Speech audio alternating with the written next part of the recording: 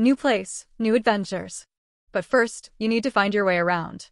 In this video, we're tackling the art of asking for and giving directions in English. It's perfect for newcomers or anyone exploring unfamiliar places. Get ready to discover how to explore like a local.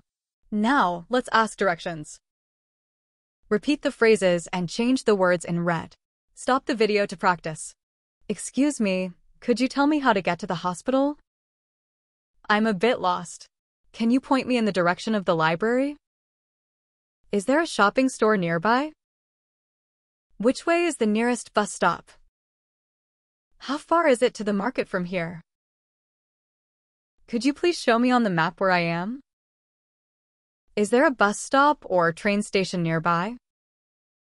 Can you recommend the best route to the city center? I'm trying to find Main Street.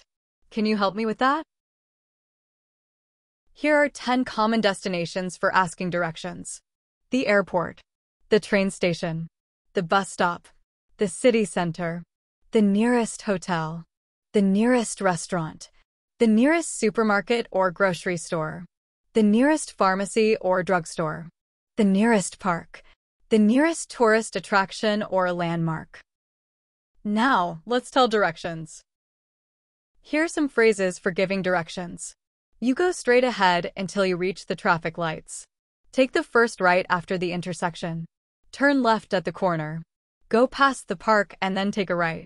It's just around the corner from here. Keep walking until you see a big building on your left.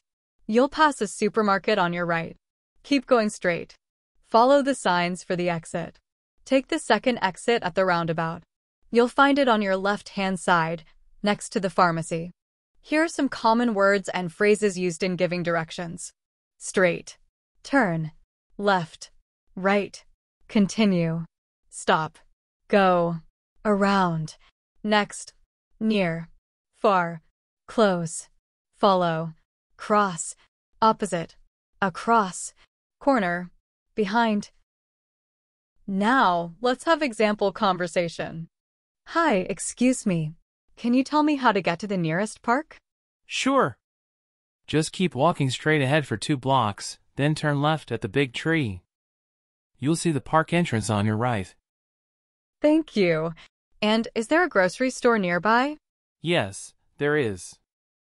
Once you're at the park entrance, turn right and walk down the street for about five minutes. You'll see the grocery store on the corner. Got it. Thanks a lot for your help. You're welcome.